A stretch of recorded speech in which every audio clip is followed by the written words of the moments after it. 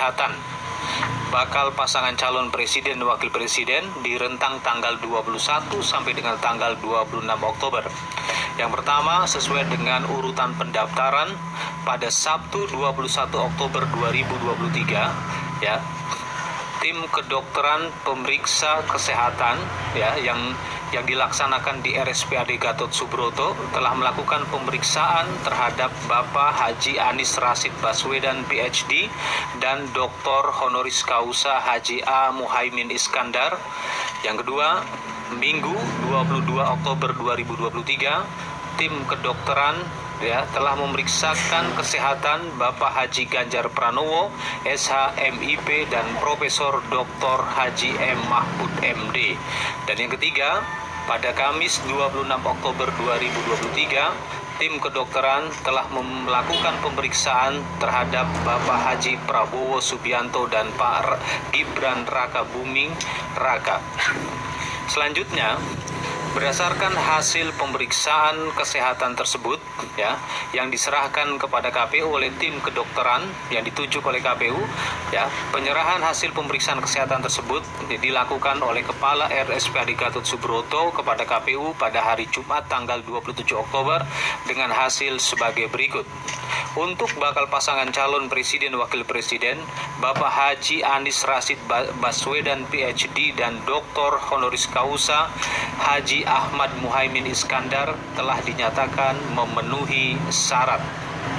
Yang kedua, untuk bakal pasangan calon presiden dan wakil presiden Bapak Haji Ganjar Pranowo SH MIP dan Bapak Profesor Dr. Haji M. Mahfud MD dinyatakan telah memenuhi syarat. Yang ketiga, untuk bakal pasangan calon presiden dan wakil presiden Bapak Haji Prabowo Subianto dan Pak Gibran Raka Bumi Raka telah dinyatakan memenuhi syarat. Selanjutnya kami juga akan menyampaikan hasil verifikasi dokumen persyaratan bakal calon presiden dan wakil presiden.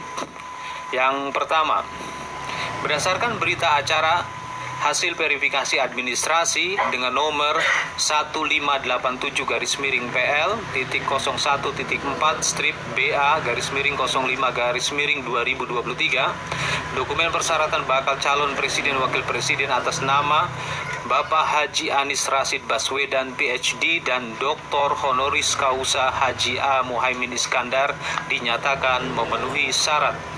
Selanjutnya, Berita acara nomor 1588 garis miring PL 01 titik 4 strip BA garis miring 05 garis miring 2023 dokumen persyaratan bakal calon presiden wakil presiden atas nama Bapak Haji Ganjar Pranowo SHMIP dan Profesor dan Bapak Profesor Dr. Haji M. Mahfud MD dinyatakan memenuhi syarat. Selanjutnya, berita acara nomor 1589 garis miring PL titik 01 titik 4 strip BA garis miring 05 garis miring 2023 dokumen persyaratan bakal calon presiden wakil presiden atas nama Bapak Prabowo Subianto dan Bapak Gibran Raka Buming Raka dinyatakan memenuhi syarat. Selanjutnya KPU pada hari ini sesuai dengan pasal 276 ayat 1 pada tanggal 13 November 2023 jam 14 waktu Indonesia Barat lewat 2 menit dan 24 detik. Kami memilih waktu jam 14 lewat 2 menit lewat 24 detik menjadi pesan simbolik itu ada itu adalah hari pemungutan suara nanti. Ya, angka-angkanya. Berdasarkan pasal 235 ayat 1 Undang-Undang Nomor 7 Tahun 2017 dan, telah dilakukan rapat eh, sidang pleno KPU tertutup sebagaimana tadi yang telah dijelaskan oleh Ketua KPU Republik Indonesia. Ya KPU telah menyatakan ya bahwa pasangan calon presiden dan wakil presiden Haji Anis Rasid Baswedan PhD dan Dr. Honoris Causa Haji A. Muhaimin Iskandar yang diusulkan oleh partai politik Partai Nasdem, Partai Kebangkitan Bangsa, Partai Keadilan Sejahtera telah dinyatakan memenuhi syarat dan dinyatakan sebagai pasangan calon presiden dan wakil presiden untuk pemilu serentak 2024. Selanjutnya, untuk pasangan calon presiden dan wakil presiden Haji Ganjar Pranowo SHMIP dan Profesor Dr. Haji M. Mahfud MD yang diusulkan oleh partai politik PDI Perjuangan, Partai Persatuan Pembangunan, Partai Perindo, Partai Hati Nurani Rakyat, telah dinyatakan memenuhi syarat memenuhi syarat sebagai pasangan calon presiden dan wakil presiden untuk pemilu serentak 2024.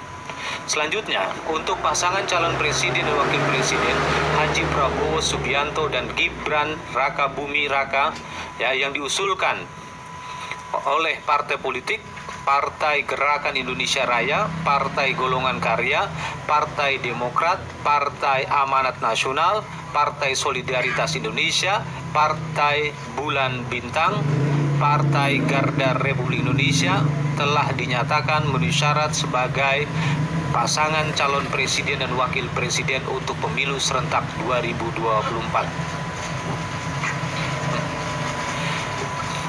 Ha, ber, hasil pleno KPU ter, hasil sidang pleno KPU tertutup tersebut telah kami tuangkan dalam keputusan KPU nomor 1632 tahun 2023. Demikianlah uh, Selanjutnya setelah penetapan ini, KPU akan melaksanakan tahapan pengundian dan penetapan nomor urut pasangan calon presiden dan wakil presiden sebagaimana ketentuan yang terdapat di dalam pasal 235 ayat 2. Acara rapat pleno KPU terbuka untuk penentu untuk pengundian dan penetapan nomor urut pasangan calon presiden dan wakil presiden tersebut rencananya akan digelar di kantor KPU Republik Indonesia pada Selasa 14 November 2023 jam 18.30 sampai dengan selesai. Selanjutnya pada kesempatan ini juga kami akan menyampaikan tentang uh, masa kampanye. Masa kampanye untuk pasangan calon presiden dan wakil presiden sama halnya dengan masa kampanye untuk pemilu anggota legislatif yaitu akan dimulai pada tanggal 28 November 2023 dan akan berlangsung 75 hari ke depan atau sampai dengan tanggal 10 Februari 2024. Demikianlah hal-hal uh, yang penting untuk kami sampaikan kepada publik Indonesia ya. Uh, dengan demikian saya kembalikan ke Ketua KPU Republik Indonesia. Bila itu wal. Assalamualaikum warahmatullahi wabarakatuh. Salam Om Santi Santi Om Namo Buddhaya.